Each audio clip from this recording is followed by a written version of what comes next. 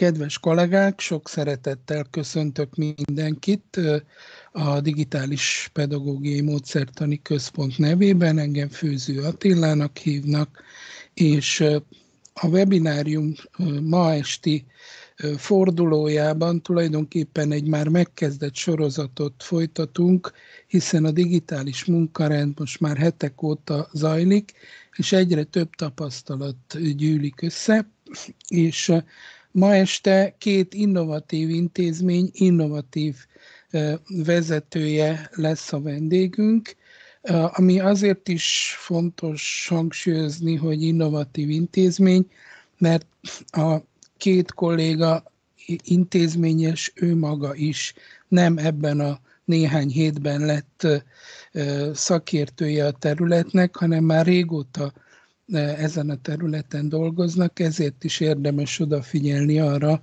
arra a tapasztalatra, amit most majd el fognak mondani. És akkor be is mutatnám őket. Földesi Klára, aki az Újpesti Homoktövis Általános Iskola igazgatója, és Tószegi Attila, aki a Herman Otto Általános Iskola és Tudásközpont igazgatója, lesz a mai két beszélgetőtársam, és azt beszéltük meg, hogy bizonyos kérdéseket végigmegyünk, és a, a, akinek, akiben fölmerül további kérdés, kérem, hogy bátran írja a chatbe, és akkor a végén sort kerítünk ezekre a kérdésekre is. Kezdjük azzal, hogy amikor elindult ez a digitális munkarend, akkor ugye valamilyen változás történt hirtelen. Sokan voltak olyanok, akik már előre sejtették és előre készültek arra, hogy ez a változás be fog következni. Milyen környezetet használtok ti az iskolában, mennyire egységes ez a rendszer, mennyire egységes a használata az iskolán belül, hogyan történt ez nálatok. És akkor talán kezdjük Klárával.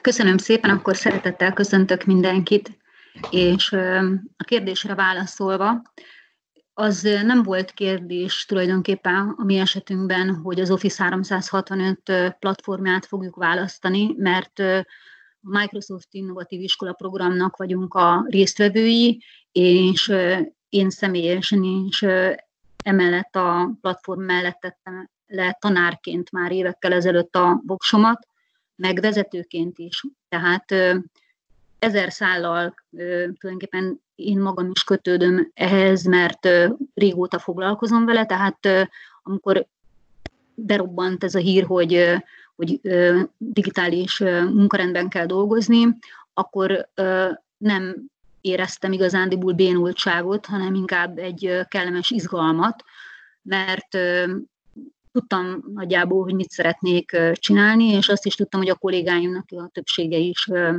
támogatni fog ebben. És az volt nálunk a kérdés, hogy az alsósok mennyire fogják tudni a pici gyerekek használni ezt a, a felületet, és hát igazándiból elég gyorsan szavazták meg a kollégáim azt, hogy ők is a picikkel belevágnak, és nem bántuk meg. Mi 2016 óta használjuk ugyanezt a rendszert, tehát adott volt, hogy nem is kerestünk mást. Nekünk a Teams az lehetőséget nyújt mindenre. Tudunk feladatot kiosztani, értékelni, órákat tartani, kommunikálni egymás között és a gyerekekkel. És mivel volt már ebben tapasztalatunk, nálunk is csak az volt a kérdés, hogy hogyan terjesszük ki ezt a rendszert.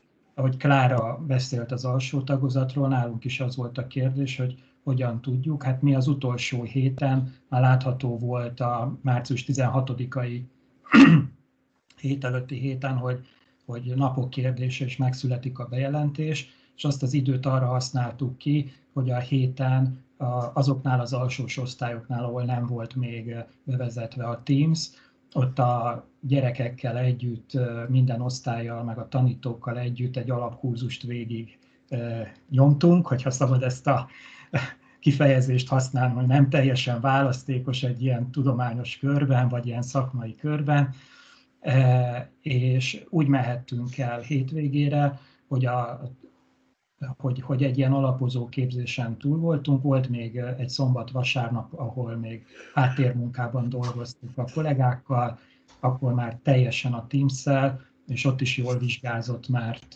mindent, amit szerettünk volna, elő tudtunk készíteni 16-ára. Ebben a digitális munkarendben mennyire más az, ahogyan dolgoztok? Tulajdonképpen változtattatok-e mondjuk az órarenden, változtattatok-e az órák mennyiségén, vagy lényegében ugyanaz a menetrend van, mint a, mint a hogy úgy mondjam, a normál időszakban, de online úton zajlik a közös munka a gyerekekkel. Hogyan alakult ez nálatok? Hát változ, vált, Igen, arra gondoltam, hogy Attila most akkor te kezd. Köszönöm szépen. Változott, természetesen, hogy változott, hiszen ez egy teljesen más tanítási folyamat, mint amely, amit megszoktunk. Ö, ö, nyilvánvaló, mert a osztályterem az nem ott van, ahol eddig volt, a tanárok nem azok, akik eddig voltak, az időbeosztás nem az, ami eddig volt, botorság lett volna ö, ugyanúgy tenni, mint hogyha hétfőn bementünk volna az Egresi út 69 szám alá, és megtartottuk volna az első-második órát.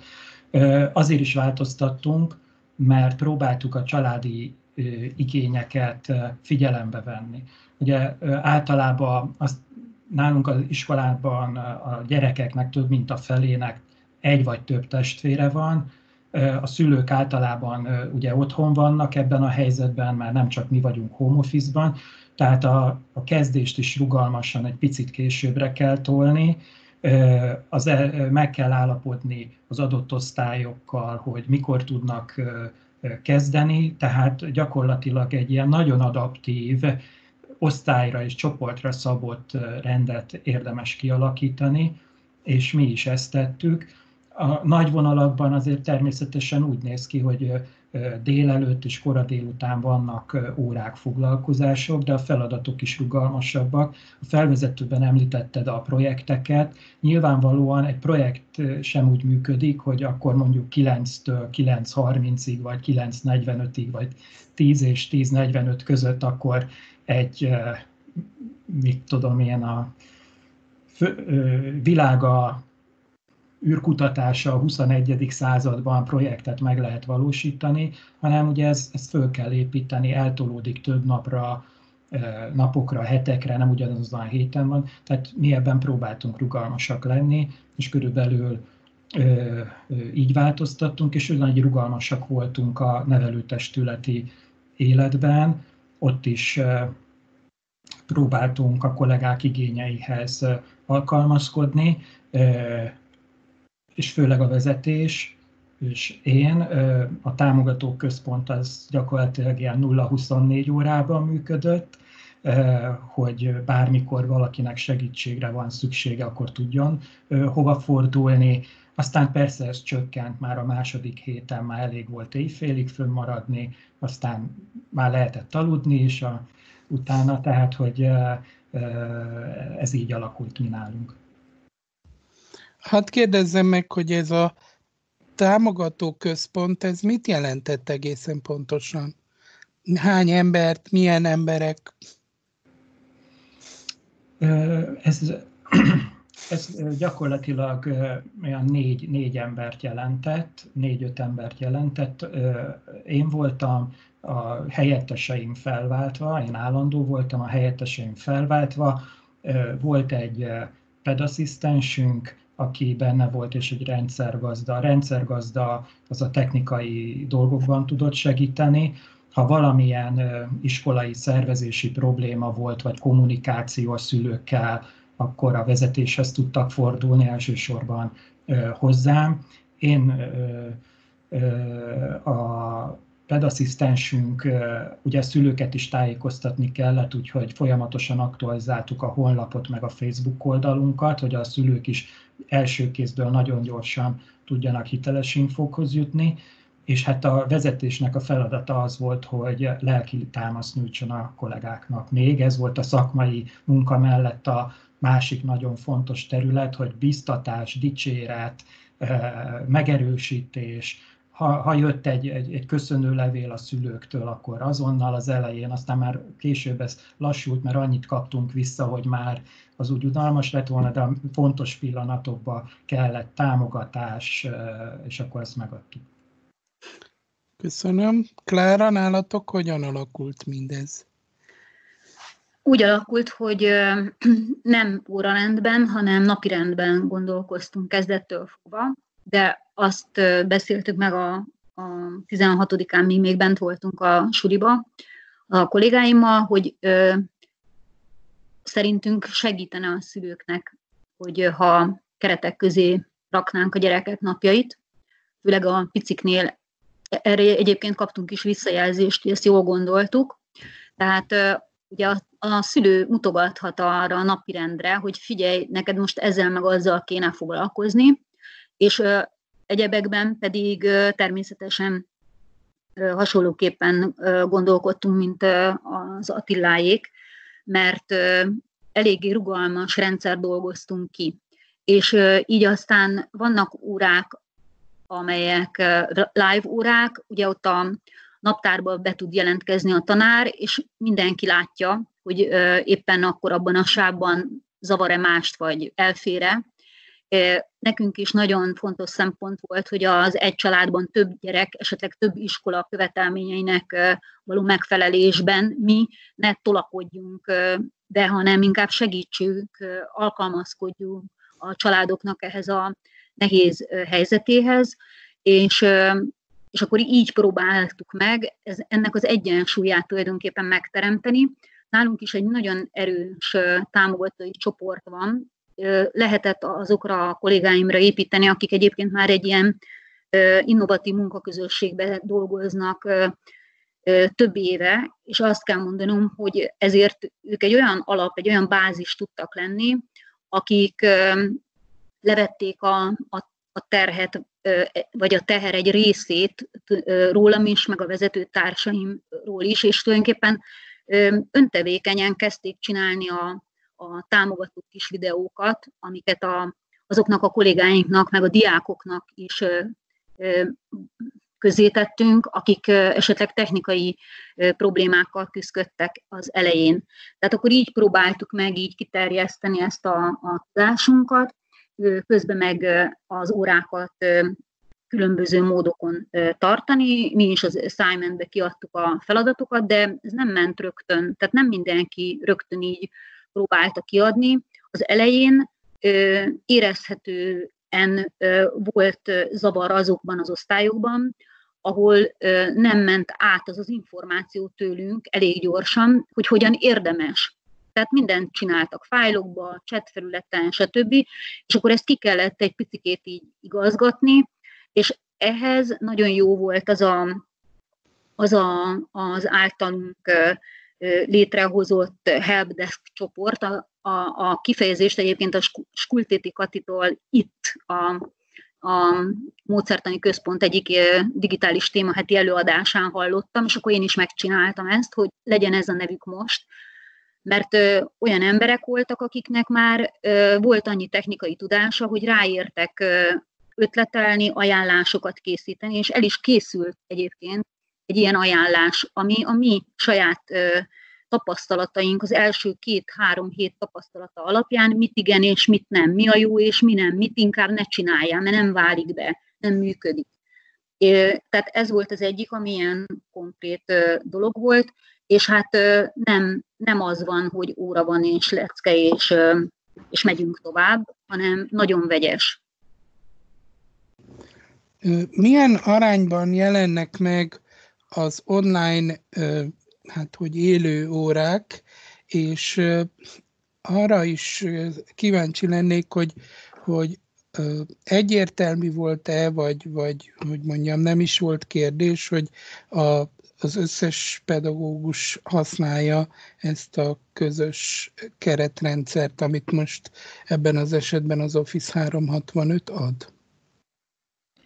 Hát Szerintem egyértelmű volt, mert a magunk munkáját nehezítenénk meg, ha, ha, ha egy iskolán belül, egy szervezeten belül többféle dolgot próbálnánk meg, vagy az egyik ezt csinálná, a kollega, másik kollega azt csinálná, akkor szerintem kezelhetetlen lenne, pláne egy ilyen gyors átalakulásban, vagy egy ilyen gyors helyzetben, amikor egy teljesen új folyamatot kell kitapasztalnunk az iskolában is, meg otthon is. Úgyhogy mi is ezt próbáltuk támogatni, létrehoztunk már a legelső héten egy heti rendtáblázatot, ami azt jelentette, hogy egy hétre előre megszerkesztettük minden tárból, minden osztályból, jobban mondva egy osztályra a teljes heti tananyagot, napokra lebontva. Ebben a táblázatban voltak a videós órák is, és ott tudták előre megtervezni a kollégák, hogy kinek mikor szükséges. Ez, ez azt jelenti, hogy átlagban napi van két vagy három órát, ez nálunk 30 percet jelent, ez egy megállapodás nálunk, hogy, hogy 30 percnél hosszabb nem lehet egy óra vagy egy videós feladat, mert nem csak videós óra van vagy feladat, mert arra törekszünk, az is egy megállapodás, hogy, hogy hogy mondjuk három óránál többet ne üljön a gyerek a gép előtt, és itt az, a, a, egy osztályban az összes tanárnak egyeztetnie kell, itt is a Teams-et használjuk, van egy közös felület, egy közös Excel táblát készítünk, amit hét elején kiküldünk, és akkor tudják a szülők és a családok kezelni, hogy, a, hogy biztosítsuk a, a folyamatos áramlást. Ugye a szervezetekben mindig akkor eh, van nagy eh, baj, hogyha valahol valami feltorlódik, és eh, ez bármilyen szervezetben, vagy már bármilyen ilyen munkahelyen ez egy problémát jelent, és akkor ezt próbáltuk így kiküszöbölni, és így sikerült nagyon hamar, gyakorlatilag másfél hét alatt kialakítani azt a rendszert. Azokat a kollégákat, akik pedig most kezdték ezt a munkát, mert nagyon sok kollega az elmúlt másfél évben jött hozzánk, sokan mentek nyugdíjba, vagy mentek el azoknak pedig volt idejük, és volt magunkkal szemben is egy, egy olyan fajta elvárásunk, hogy legalábbis én nagyon sokszor mondtam, hogy lassan jár, tovább érsz. Nagyon sokkoló volt kollégáknak, és őket külön kértem a chatben, mert ugye itt lehet ugye látható csetelni is, hogy ne stresszeljék magukat, mert ők ugye már három-négy éves tapasztalattal rendelkeznek, hanem most mindenki tudjon a saját tempójában, de fejlődni. Úgyhogy most szépen most ott tartunk, hogy mindenki egységesen be tud lépni, mindenkinél csak a saját tempó az az elvárás, és akkor ahhoz képest tudunk segíteni, ahogy a Klára is mondta, hogy van, vannak oktató videók, vannak külön beszélgetések, ilyen videóbeszélgetések, ahol tudják képezni a kollégákat, tehát nagyon sokrétűen ezek talán a, a legfontosabb gondolatok vagy megállapodások. És a másik, hogy még, még volt egy, amit ebbe a táblázatban szintén felírtunk, hogy a kevesebb több, ezt is vissza kellett fogni a, az elején, hogy, hogy nem, itt nem az a lényeg, hogy most uh, azzal bizonyítsuk a rátermettségünket, hogy minden tárgyból minden feladatot azonnal kiadunk és azonnal uh, visszakérünk, hanem uh, tudjunk szelektálni és fel tudjuk építeni először az eszközhasználatot, és aztán utána magát a tanítási folyamatot. Köszönöm. Klára, nálatok hogyan alakult ez? Nálunk a ahogy mondtam is az, az előbb, kezdettől fogva egy ilyen napirend. Bocsánat, hogy, hogy, hogy a napsugár az nagyon hát, szép dolog, csak most rád süt, és a napra lehet nézni, de rád nem. Igen, én is azért fészkelődöm itt, mert nem mertem felállni, hogy elhúzzam a függönyt, de most Nagyon már jó. megpróbáltam valahogy így, talán így jobb, Tökéletes, ugye? tökéletes. Jó, tehát nem ismétlem már magamat, én azt nem elmondtam, hogy, hogy mi miféle rendszerint állítottuk fel a, a Teams-ünket. Egyébként visszatérve inkább arról beszélnék még, hogy hogy itt több lehetőség kínálkozik, amikor a Teams-et választja az ember. Mi rövid gondolkodás után azt választottuk, hogy egy osztálynak egy csoportja, azaz egy teams van, mondjuk ez magyar talán egy kisé, de hát nem fogom lefordítani most ugye ezt a szót, és azon belül a csatornákon jelennek meg a tantárgyak. És azért választottuk ezt, mert így ugye csak 26 osztály csoport van, és akkor talán könnyebb az eligazodás egyrészt az adminnak is, aki leginkább a vezetőtársaim, a rendszergazda meg én vagyunk, tehát igazándiból be tudunk lépni, hogyha valamikinek szüksége van segítségre, nagyon hamar megtaláljuk ott azt a feladatot, amit éppen ki kell igazítani. Ma például egy nagyon érdekes, és talán ez egy gyakorlati tudás, amit nem tudtam, és a saját mai tapasztalatomon tanultam meg, hogy az egyik kolléganőm fel akar tölteni egy fájt, és felhívott engem a Teams-en keresztül, hogy, hogy, hogy nem képes, hogy már nem tudom hányszor próbálta csatolni azt az egyszerű Word dokumentumot egyébként, és ö, megnéztem, és az volt a baj, hogy túl hosszú címet adott neki. És ö, azt nem engedte csatolni, csak ő ö, nem ö, figyelte ezt a felugró ablakot, amiben ezt jelzi a, a rendszer.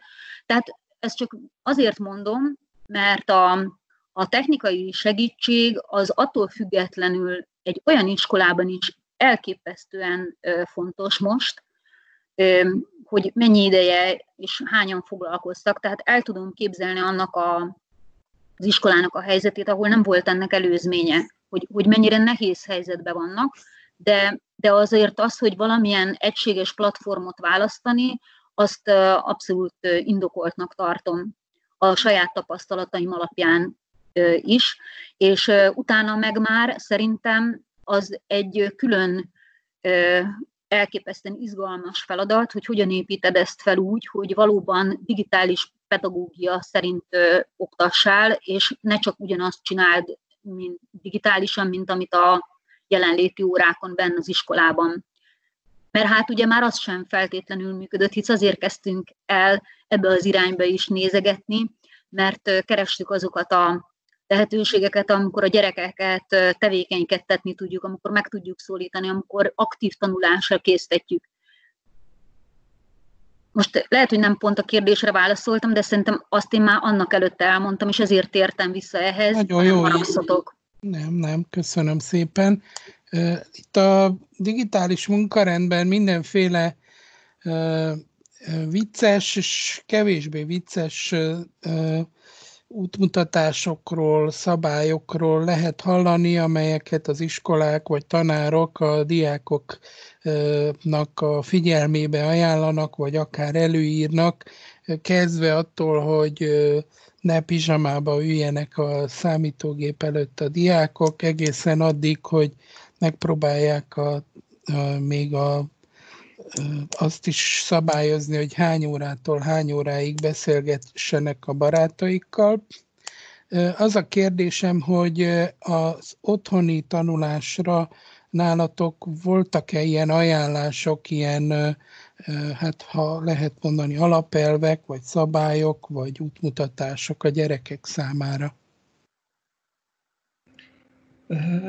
Én nem hiszek ezekben a szabályokban. Én nem, mi erre nem adtunk, náluk ott volt a heti rend, nálunk inkább a megbeszélés, a megállapodás volt a szabály. Tehát én azt gondolom, hogy ahány csoport, ahány tanulási út van most, az inkább arra vezet minket, hogy nézzük meg egy adott csoportnak az igényét. És én, én arra törekedtem a kollégáimmal együtt, hogy, hogy akár még egy évfolyamon belül is próbáljunk meg alkalmazkodni a családok életéhez. És egyébként a, Teams-ben az, az nagyon jó, ahogy te is említetted, hogy például kiírja, hogy mikor vesz föl, mi is bemondjuk, hogyha felveszünk egy órarészletet, vagy, vagy olyan dolgot, hogy adatvédelmileg elég biztonságos ez a, ez a fajta környezet. Az pedig, hogyha mondjuk engem hallgatnak mondjuk a nyolcadikos tanulóim volt erre példa a legelső órán, hogy feküdt a, bekapcsolta a, videót, és feküdt az ágyán pizsamába, és mindenki nevetett rajta, és mondtam, figyelj Máté, látható vagy, ha gondolod, akkor kapcsolt ki. Szerintem ennyi bőven elég, úgyis elég szabályra kell odafigyelnünk. Én azt gondolom, hogy a lényeg az, hogy tudunk-e együtt dolgozni, az, hogy otthon szabályozzam az emberek életét, az nem az én nem az én világom. Annyira tudom szabályozni, hogy mit, milyen feladatokat készülök én, mint tanár, mit tudunk mi iskola kínálni, nekem ez bőven elég. Az többi az a családok megállapodása, hogy ott most pizsamában van az egész család, vagy rendesen felöltöznek. Hogy ez, ez nálunk nem okozott ilyenfajta gondot. Sőt, inkább azt kaptuk visszajelzésnek, hogy örültek, hogy, hogy Ma is kérdeztem, ma is volt órám délelőtt, kérdeztem általában egy héten egyszer legalább végig kérdezem a gyerekeket, hogy hogy vannak, hogy tanulnak, mi a tapasztalat. Azt mondták, hogy örülnek annak, hogy be tudják osztani az idejüket, és a legtöbben azt mondták, hogy az egyik dolog, amit megtanultak ebbe a négy hétben, ma megkérdeztem, hogy miket tanultak. És az egyik az, hogy megtanulta beosztani az idejét és nem én kértem, hogy tanulja be, hanem ugye volt egy ritmus, amit mi adtunk, és akkor négy hét alatt eljutott odáig egy nyolcadikos gyermek is, hogy, hogy odafigyelt arra, hogy hogyan ossza be. Szerintem ez egy nagyon nagy eredmény például. Köszönöm. Nálunk viszont született egy lapocskányi alapelv, és az a neve, vagy az, volt a címe, hogy, hogy digisuli alapelvek és szabályok, és ez őszintén szólva azért született, mert szerettem volna, mert ezt én kezdeményeztem, hogyha ha ebben a partneri együttműködésben érzik a gyerekek, hogy egy, egyféle elv szerint próbálunk iskola szinten eljárni, és azért ezt úgy csináltuk meg, hogy gyerekeknek és tanároknak. És ezt ugye megosztottuk a tanárokkal is, meg a gyerekekkel is, és a gyerekeknek volt ez üzenet, hogy mi ugyan várunk tőlük ezt-azt, de mi magunktól, magunkra nézve is teljesen világossá tesszük azt, hogy mi szerint dolgozunk. Tehát nyilván nem a pizsama viselet ötet írtuk ezekbe bele, és tényleg nagyon, nagyon kevés dolgot szögeztünk le. Például, ami nekem a legfontosabb volt, és lehet, hogy olyan jó ez, hogy más tanári karban ez fel sem merül, de én fontosnak tartottam leszögezni, hogy, á, hogy március 31-ig csak ötös lehet adni. Mert nem a mi iskolánkban, de hallottam olyanról, hogy máshol esetleg már rögtön a második napon, vagy nem tudom mikor elkezdték ugye gyerekeket úgy értékelni, hogy nem feltétlenül ö, volt az megalapozott, tehát ezt mindenképpen szerettük volna elkerülni, ezt nagyon jó elkerülni, és aztán, aztán azt is, hogy az adatvédelmi szabályok azóta már megszülettek, és ki tudtuk tenni a honlapunkra, mert küldött a fenntartó, de, de az első napon felmerült ez kérdésként, hogyha egy drámatanár kér egy kis videót, akkor azt és, és tök jól sikerült, akkor azt megoszthatja-e az osztályban a többiekkel. És akkor, akkor nyilván lehet, hogy ez így minden de mivel nálunk kérdés volt, nekünk meg kellett abban egyezni, hogy ez, ehhez kell a gyerek engedélye, vagy a szülőjé, vagy a nem tudom ki. Tehát igazándiból ilyenekre gondoltunk mi, hogy kellenek, de azt hangsúlyozom, hogy ez nem egy ilyen nagyon-nagyon cirkalmas szabálygyűjtemény, hanem ilyen négy-öt dolog, amiben megállapodtunk, és akkor ebben ahhoz kellett magunkat tartani. Itt tulajdonképpen egy uh, bűvös szó hangzott el, és uh, szeretném is ezzel kapcsolatban megkérdezni azt, hogy nálatok hogyan van, illetve nem csak én szeretném, hanem, hanem érkezett is ilyen kérdés, hogy hogy az értékelés miképpen alakult át, ugye említetted ezt az ötös eh, helyzetet, eh, eh, milyen szerepet kapott, vagy vannak-e újfajta értékelő eszközök vagy értékelési lehetőségek, hogyan történnek most a, hogyan történik az évvégi jegyek hely, dolga, tehát a lezárások, vagy a, a fél év lezárása hogyan történik, másképp-e, és ha igen, hogyan zajlik ez most nálatok? Igen, most akkor megszólítva érzem magam, mert én mondtam ki ezt a szót, úgyhogy akkor elkezdeném, hogy ez, ez az, a tavaszi szünet után mi egyik legégetőbb kérdésé vált, tehát ezzel foglalkozunk most, és összegyűjtöttünk mindenféle szempontot a tapasztalataink alapján. Hát más, kiderült, hogy más az alsó, mint a felső, mert ugye az alsóban nagyon sokszor segítenek úgy a szülők, hogy szinte látszik, hogy ott dominál a szülői segítség, ami nem baj, csak ugye nyilván akkor azt kell megnézni, hogy akkor abban mi a, a realitás, hogy mit értékeljünk, vagy mit nem. Akkor ö, kiderült, hogy a készségtárgyaknak a hiába adnak a kollégáim rendkívül kreatív feladatokat, de valahogy ugye a felsőben, hát még az is kiderült a számunkra, hogy hetedik, nyolcadikra ez már kevéssé tűnik fontosnak a gyerekek számára, de hát mi mégis szeretnénk, hogyha valami produktumokat majd a végén tudnánk értékelni, mert úgy nekünk van egy ilyen kötelezettségünk, tehát a prétában nekünk mindenképpen kell őket értékelni, de egyébként nem csak a kötelezettség, hanem egyszerűen ez a munkarend, ez nem változtatta meg amúgy az iskolánknak a, az értékelési rendszerét, viszont azért módosítja rendkívüli módon. Tehát a, a pozitív értékelésre való törekvés az igazabb, mint valaha azelőtt is az volt ránk jellemző, de most aztán ö, hangsúlyozottan, és ö, az aktivitást is értékeljük például. Tehát, hogy ott van-e a gyerek, hogy reagál-e, hogy, hogy visszaküldje, hogy, hogy, hogy mozog-e, hogy csinálja-e. És, és szépen most kezdjük összegyűjteni egy, megint csak egy ilyen táblázatba hogy mi, lesz az, ami mindenki számára vállalható, és, és hát bizony a gyerekeknek mi az a minimum, amit mindenképpen szeretnénk, hogyha teljesítenének. Ezt persze közzé is tesszük.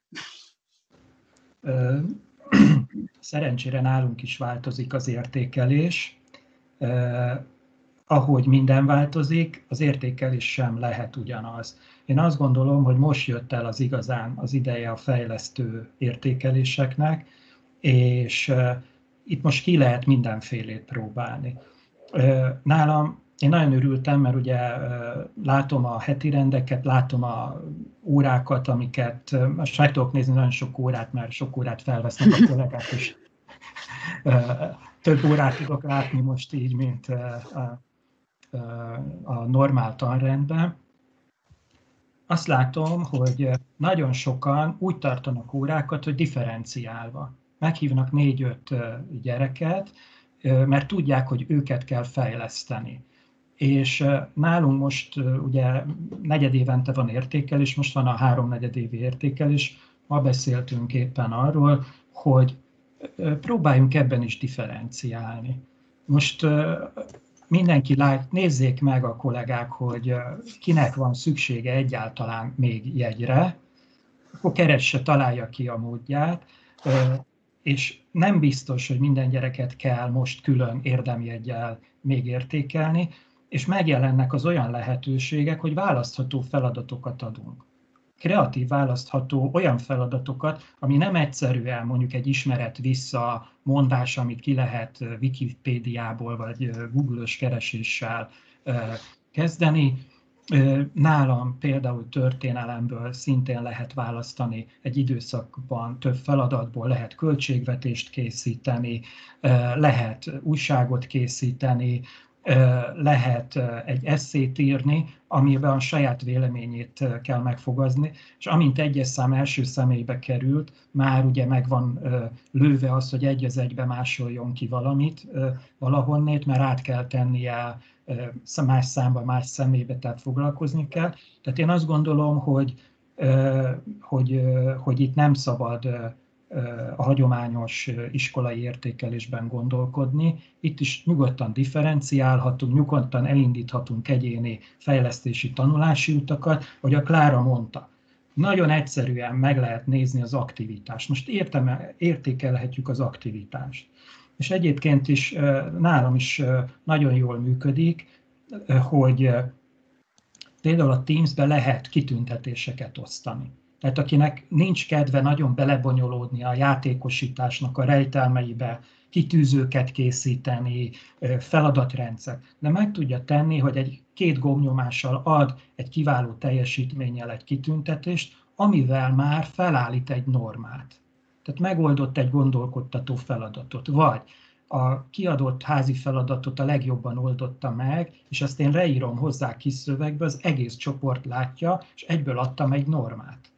És azt hiszem, hogy erre az időszakra is érvényes az, hogy egyszerűen nem lehet madarat fogni, hanem mézzel, úgyhogy érdemes nagyon sok mézes bödönt bekészíteni, és akkor utána visszajön az eredménye majd, ha visszaállunk. Jó, az én nyolcadikosaim elmennek, és lehet, hogy majd másnak lesz nek jó vagy kevésbé jó tapasztalatai, de a kisebb évfolyamok itt maradnak, és én azt gondolom, hogy ha egy ilyen helyzetben mi jól vizsgázunk, az emeli a presztízsünket. Ugye az iskolába nagyon gyorsan terjednek a hírek. Ugye bemegy egy elsős, a második nap már tudja, hogy melyik tanártól kell félni, melyik tanár tudja megvezetni, melyik a jó tanár, melyik a menőfej tanár, melyik a vicces tanár, melyik a nagy tudású tanár. Most tudunk mi tanárok bizonyítani, és ezt a tőkét kamatostól vissza tudjuk kapni szeptembertől, ha újra kezdődik az év.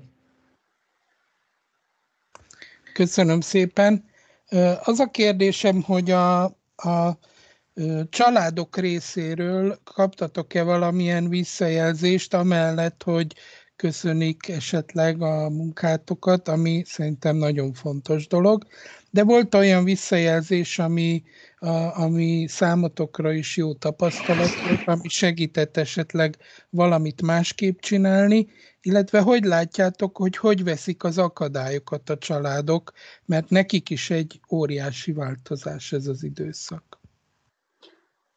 Mi a harmadik héten azt hiszem küldtünk ki egy nagyon-nagyon rövid kérdőívet a szülőknek, külön a alsósoknak fogalmaztunk meg együtt a kollégáimmal kérdéseket, meg külön a felsősöknek. És hát nyilván arra irányult a puhatolódzásunk, hogy, hogy hogyan tudják ezt a, a munkarendet ők szülőként a gyerekükkel megoldani. És eleve nagyon-nagyon jó volt, hogy a 75%-nál több szülő visszaküldte ezt a kérdőívet, ami azt jelenti, hogy ez egy nagy iskola, tehát 680 ö, egy tanuló és 570 valahány kérdőív jött vissza. Tehát nagyon-nagyon nagyon, nagyon nagy bizalommal megosztották velünk a, gondolatainkat, és egyébként az derült ki, amire ugye irányultak a kérdéseink, mert tudni szerettük volna, hogy nem terheljük-e túl a gyerekeket, hogy, a, hogy, a, a, hogy van-e már kialakult napirend, hogy mennyit kell a gyerek mellett ülnie a szülőnek, hogy, hogy mennyire értelmesek a feladatok, amit adunk, hogy mennyire adunk segítséget a tananyag feldolgozásához, hogy mennyire találják alkalmasnak a Teams-et, mint felületet. Tehát ilyen és hasonló kérdéseket tettünk fel, de még egyszer mondom, hogy ez két fele ment, tehát nem volt ez sok kérdés, 6-7 kérdés volt mindössze, és, és hát az, az derült ki számunkra, hogy, hogy az megtérült, hogy, hogy elég határozottan léptünk fel a kezdet kezdetén, és világos viszonyokat teremtettünk, és az első tanulási időszak után már megérezték a logikáját, és be tudták osztani az idejüket, és tulajdonképpen tudták, hogy mi az, amire számíthatnak tőlünk, és mi az, amit nekik kell teljesíteniük. Én azt gondolom, hogy, hogy talán azzal még, hogy tudtunk adomány eszközökkel olyan gyerekeket segíteni, akik ne, nehéz a helyzetük, mert több gyerek van egy családban, vagy eleve nem volt megfelelő eszközük, így talán elmondhatom, hogy, hogy nem, a, nem az lesz a, a mi problémánk már, hogy, ugye, hogy a szülők és a gyerekek megbirkóznak ezzel, hanem hogy mi, az iskola mennyire tudja ezt jól felhasználni, ezt a lehetőséget. Hogy mi mennyire tudunk élni azzal, hogy most itt a digitális pedagógiában előre lehet lépni. Ahogy említettem, már eleve az volt a célunk, hogy támogassuk a családokat, különös tekintettel a szülőket, mert ők az, akik a legtávolabb álltak az oktatási folyamattól. Nagyon sok, hát a gyereke, a felsős tanulóknak, meg az alsósok egy részének nem volt ismeretlen a Teams, mert használták, a kollégák jelentős részének, kivéve az újonnan érkezett kollégáknak nem volt ismeretlen a Teams használtuk, viszont a szülők közül egy-ketten, néhányan 736 családból néhányan ismerték ezt a felületet. Ez volt egy nagy probléma, ez volt az egyik olyan probléma, amit megpróbáltunk nagyon gyorsan kezelni, és mi is kaptunk nagyon sok felajánlást, és nem csak pénzbeni felajánlásokat kaptunk, meg eszközbelit, amit a Klára is említett, hanem pont ezek a szülők, akik ismerték a Teams, vállalták, hogy tehermentesítenek bennünket az első héten, és tartottak online képzéseket az osztályokban. A másik fajta visszajelzés az pedig, amit, amit említettem is, ugye általában az információ hiány szokott probléma lenni egy szervezetben, és a, a nem egyenletes terhelés és a, a, ha, ha megakad ez a folyamatos áramlás. És hát ezzel kapcsolatban érkeztek döntően az első héten, a második héten már alig, és a harmadik hétre megszűntek ezek a dolgok, ezért próbáltuk már a kezdet-kezdetén azt, hogy a feladatok egyenletes sebességgel menjenek. Mind, amit tudunk mi információ, azt azonnal osszuk meg érthető formában a családokkal, és ha valaki nem tud valamit, azt tanítsuk meg rá, legyen az tanár vagy nem tanár kollega, úgyhogy ebben próbáltunk nagyon gyorsak lenni, és én úgy látom, hogy ezt értékelték, ezt nagyon értékelték, azt, hogy látták, és ezt el is kellett ismernem, hogy nem vagyunk tökéletesek, csak gyorsan próbálunk tanulni. És akkor ez, ez, ez, ez, ez jó visszajelzést. Voltak esetleg olyan diákok, akik nem tudtak bekapcsolódni egyáltalán ebbe a digitális munkarendbe? Nálunk igen. És mit, mit tettetek, hogyan tehát, Abszolút, tehát el kell különíteni azokat, akik már van, van két, három olyan diákunk, akikkel már a, a rendes kontaktmunkarendben is voltak ilyen iskolakerülési problémák. Őket nyilván ugyanúgy próbáltuk zargatni a jelzőrendszeren keresztül, mint eddig.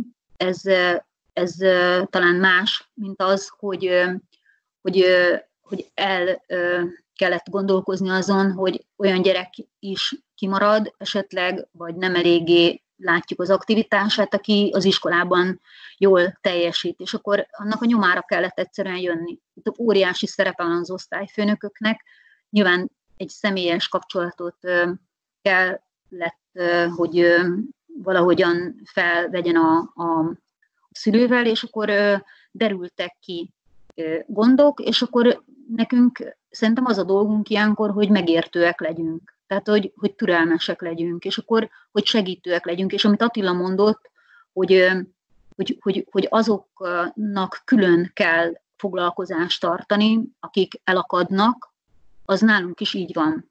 Hogy a kolléganőm, amikor látta, hogy nem, nem ad vissza feladatokat a, az egyik tanítványa, akkor egyszerűen addig, addig-addig próbálta becserkészni, amíg sikerült, és akkor kiderült, hogy ő nem hiszi el magáról, hogy ő ezt képes technikailag.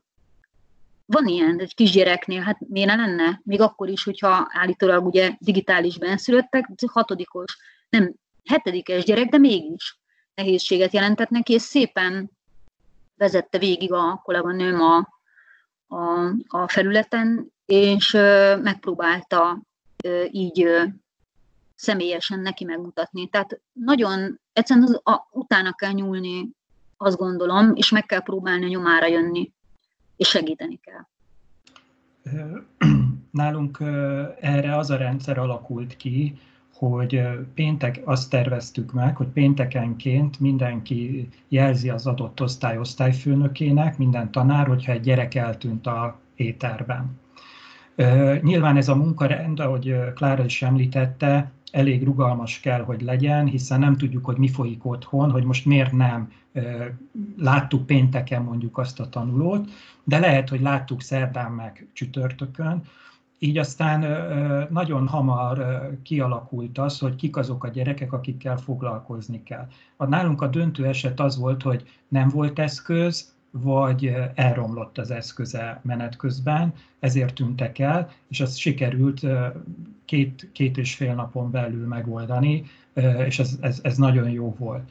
Összesen egy tanuló, a másik eset az volt, hogy vannak nálunk is ilyen elvarázsolt professzorok, akik ott ülnek, nem csinálnak, nem szólnak bele semmibe, nem okéznak le semmit, de úgy, úgy megvannak. Hát ott az osztályfőnök a tanári jelzések alapján felvette a, a, a gyerekekkel a kapcsolatot. Egy tanulónk volt, akit nem sikerült elérni, ő egy nagyon hátrányos helyzetű gyerek ö, ö, családi környezetben nőtt föl, ott azt a megoldást találtuk ennél az egy esetnél. Neki az önkormányzat biztosított egyébként eszközt már nem ilyen szociális támogatás keretében, tehát az eszköze megvolt, mégse tudott valahogy bejelentkezni, ott a postát használjuk egész egyszerűen, úgyhogy tértivevényes levéllel tudjuk biztosítani a mi oldalunkat Okozott-e valamilyen nehézséget, itt emlegettétek a, az elején az adatvédelmi kérdéseket, tehát volt olyan visszajelzés esetleg, hogy valaki nem szerette volna, hogy ő bizonyos feladatokat teljesítsen, vagy szóvá tettek-e ilyen adatvédelmi, vagy ilyen felvételkészítéssel kapcsolatos ügyeket a szülők, illetve gondolom van valamilyen már létező szabályozása erre az iskolának, amit esetleg lehet, hogy kiterjesztettetek ebben az időszakban?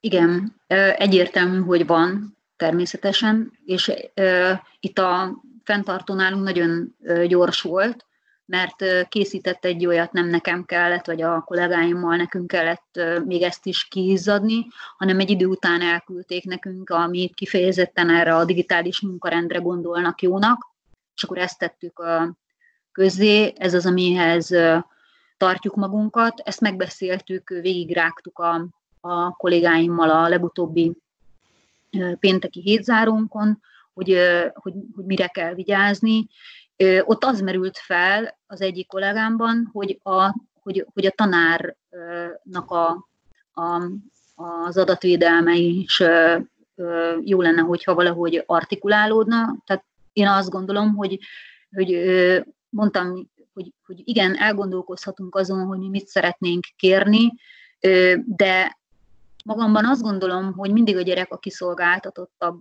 tehát hogy őt kell védeni. Nekünk, mi azzal védjük magunkat, hogyha rendkívül jól tanítunk. Természetesen nálunk is az első napok izgalma, a első napok lendülete hozott olyan feladatokat, amikor a kollégák hirtelen elfelejtették, amit a portfólió védés közben nagyon jól megtanultak, hogy a tanulóról képet, videót ne tegyünk fel, vagy ha föl kell tenni, akkor be kell szerezni a szülők vagy nagyobb korú tanulóknál nagyobb az engedély, de nyilván ez nem működik ebben a rendszerben, és talán nem is ezzel kéne foglalkoznunk, hogy állandóan engedélyeket nem. gyűjtünk, úgyhogy inkább olyan megoldásokat kell keresni, amik biztonságosak.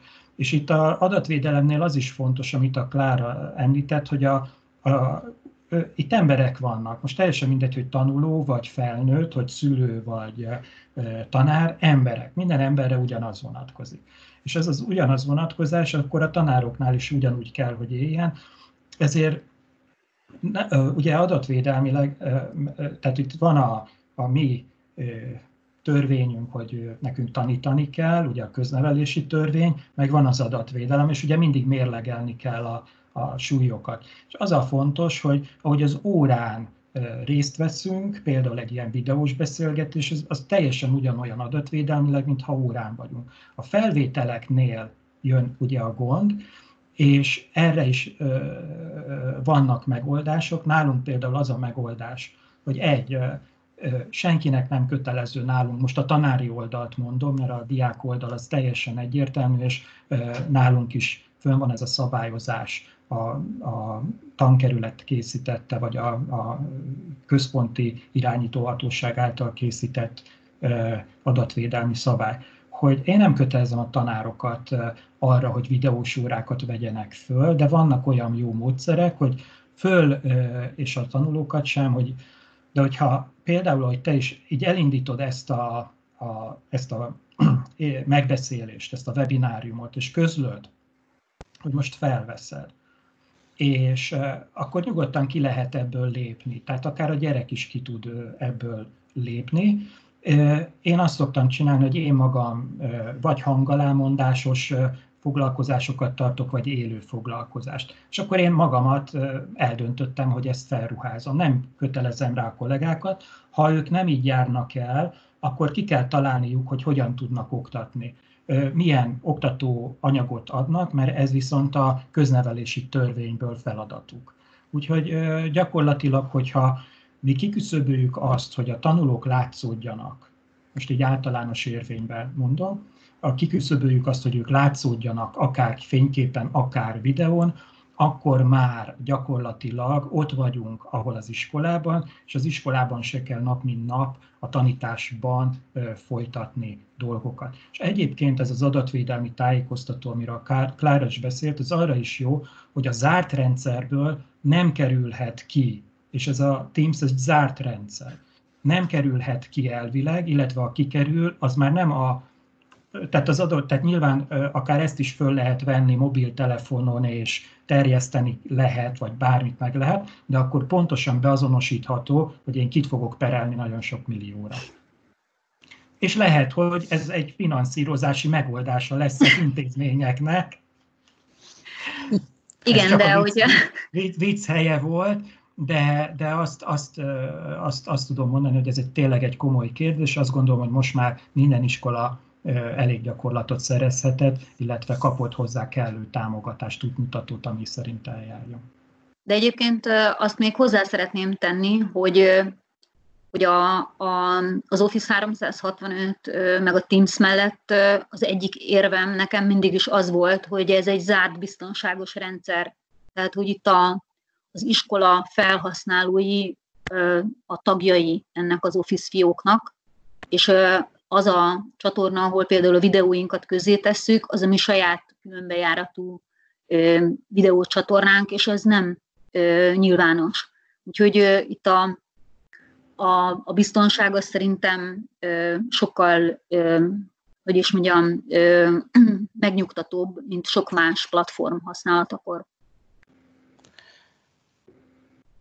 talán nem kell nagy jós tehetség ahhoz, hogyha ha azt mondjuk, hogy ősszel a tanév másképpen fog kezdődni, mint ahogyan a korábbi években. Valószínűleg más lesz az iskola ősztől. Mit gondoltok, hogy mi az, ami talán más lesz, és van-e valami olyasmi, amit ez a digitális munkarend át fog cseppenteni a hagyományos ö, keretekbe, és ott fog meghonosodni, vagy beépülni, ha egyáltalán az a hagyományos keret visszatérhet, ami eddig volt korábban. Hogy látjátok a jövőt? Hát te is kimondtál egy kulcs szót, a talánt és ez a talán azért fontos, mert ha van haszna ennek a, a vírusnak, nem tudom, hogy van-e haszna, de hogyha van haszna, akkor most talán én azt tudom mondani, hogy az a haszna, hogy kitalálhatjuk azt, hogy milyen iskolát szeretnénk építeni mostantól. a 21. századnak. Ebben a rendszerben ki lehet most próbálni, és még van elég idő mindenkinek kipróbálni olyan módszereket, amit említünk. Beszélünk mindig az adaptivitásról, hogy hogy tudunk eljutni a gyerekhez, hogy tudunk egy adott csoport igényei szerint fejleszteni. Beszéltünk arról, hogy személyre szabott vagy fejlesztő értékelés. Ezek mind süket dumák voltak és maradnak, és csak rajtunk múlik, hogy ezt meg tudjuk-e tartalommal tölteni. Ha azokat a készségeket, amit most tanultak a nevelőtestületek, tovább tudják vinni a megtanultakat, és azokat nem engedik el, hanem beépítik a napi működésükbe, és ezek lehetnek digitális kompetenciák, vagy általános olyan kompetenciák, hogy hogyan működünk mi együtt csapatként, hogyan kommunikálunk együtt csapatként, hogyan gondolkodunk együtt csapatként, hogyan tudunk rövid távú célokat a gyakorlatban megfogalmazni. Mindenkinek elég távoli szokott tűnni egy ilyen pedagógiai program, meg, meg hát valljuk be, mi a fészkes fenének. Ez a legfontosabb dolog. Most elvileg mindenki van egy éles helyzetben meg tudta nézni, hogy ő hogy működik egy éles helyzetben. Ez nem olyan, hogy hadgyakorlat van, ez, ez maga a háború, ez a bevetés. Kinek lett tele a gatyája, ki tudta bevenni a, a kitűzött célokat, és nem az a baj, hogyha tele lesz a gatyánk, hanem inkább mondjuk meg, hogy miért lett tele a gatyánk, és milyen, milyen helyzetekben nem tudtunk úgy reagálni, hogy szerettünk volna, és hogyha azokat átvisszük a békeidőbe, és azokkal elkezdünk dolgozni, akkor, akkor is tudunk fejlődni, hogyha egy darab inter, IKT eszközünk nincs. Én nagyon, én nagyon fontosnak tartom azt, hogy most átvigyük azt, hogy mindenki, ez a, ez a tapasztalatom, nincs olyan kollégám, aki ne fejlődött volna. Az egyik, egyik kollega tavasszal, a tavaszi szünet előtti utolsó napon tartottunk egy ilyen online nevelőtestületi értekezletet. Nagyon nehezen szokott bele a kollégám a, a digitális munkarendbe, máshonnét jött, más kultúrából. És a értekezlet végén itt a chat rovatba annyit írt le, ez volt életem első értekezlete, mindent hallottam, mindent láttam, ez nekem olyan, mint a, ez kis lépésnek tűnhet, de nekem ez olyan, mint a holdra lépés. És akkor a fél tantestület, szívecske, like, nem tudom, és ebbe, hogy ő ott van, az egész munkaközösségéből három-négy ember folyamatosan támogatta, segítette, tanította ebbe a három hétbe. Én azt gondolom, ha ezeket hagyjuk elveszni, akkor megérdemeljük a sorsunkat, viszont hogyha ezt hagyjuk, ezt a egy, a, hogyan tanulunk mi együtt, közösen, hogyan kommunikálunk, hogyan fogalmazunk meg rövid, közép, hosszú távú célokat közösen, akkor viszont építhetünk közösen egy új, új iskolát. Már utána nagyon kár megszólalni, mert nagyon szépen ö, megadtad ennek a beszélgetésnek szerintem a végszavát, de akkor hadd mondjak néhány ilyen címszót csak, hogy hát észrevétlenül elkezdtünk használni kifordított osztálytermet. Ugye mindenkinek ismerős ez a fogalom. Gamifikációban gondolkodunk, amikor a gyerekeket pontozzuk. A, a Teams a virtuális osztálytermünk, differenciálás és projektmunkának a felülete.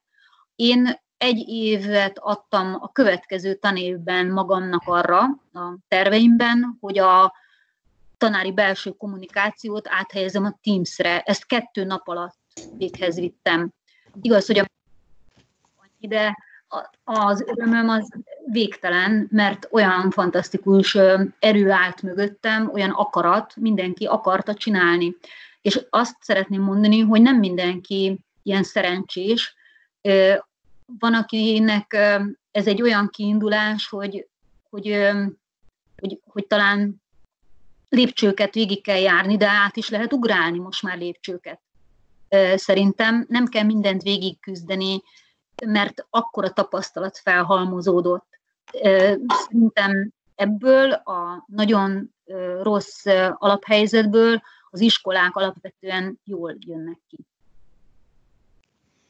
Köszönöm szépen. Köszönöm szépen. Néhány kérdés érkezett a kollégák részéről, ebből szeretnék idézni.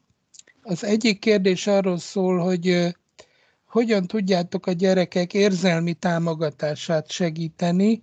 Ugye a diáktársakkal való találkozás hiányából és ebből a járványhelyzetből, a bezártságból adódó érzelmi következményeket hogyan tudjátok diagnosztizálni és enyhíteni? Nálunk ezért is vannak videós órák, mert ne, az egyik eleme annak, hogy én is említettem még nyolcadikosoknál is, a legfőbb probléma, megkérdezem, mi a legnagyobb problémájuk, mibe tudok én, mint töri tanár segíteni, az, hogy hiányz, hiányzik az iskola, hiányoznak a beszélgetések. Én mondom, tudom, hát alig tudtok elengedni engem töri óra után, annyit kérdezgettek a zenéről, a filmekről, a élet nagy dolgairól. Hát most felértékelődött ez, és azért is vannak videós órák, hogy a kicsiknél meg különösen, hogy vannak ilyen beszélgetések, a felsőbe az osztályfőnöki órák nagyon fontosak lettek, hogy így valamennyire tudják tartani a kapcsolatot, és például én azért is én idáig csak projektfeladatot adtam fel az osztályomba, mert akkor kénytelenek voltak, és nem is kénytelenek voltak, hanem együtt kellett dolgozni három-négy fős csoportokban ezeken a projektmunkákon, ami egy intenzív kapcsolatot, egy minimális kapcsolatot mindenképpen generált, aztán persze a barátok úgy is megtalálják. Hát mi nálunk a fő területe ez, a könyvtárosunk az működtet egy könyvtári csoportot, könyveket ajánl, a pszichológusunk pszichológusi szobát nyitott a kollégáknak, úgyhogy megpróbálunk minden lelki támaszt megadni, és hát én is vezetőként megpróbálok meg mindannyian csak a türelem és a pozitív megerősítés nyelvén kommunikálni és beszélni. Igen, a, a, nálunk hasonlóképpen nagyon hamar észrevették a tanítónénik meg a tanárnénik, hogy, hogy szükség van olyan órára, aminek az a, a, a címe is akár, hogy egy kis beszélgetés vagy csevegés. Nagyon sok példát láttam, nagyon sok megoldást láttam. Volt, aki azt mondta, hogy mit tudom én, kettőtől háromig most a lány, lányaimmal szeretnék beszélgetni, őket hívom aztán meg a fiúkkal. Volt, hogy, hogy a, a, a tavaszi szünet után ugye megint csak egy beszélgetés, hogy mi volt, hogy volt, és ezen kívül meg vannak azok a nagyon jópofa játékok, amiket online lehet együtt játszani.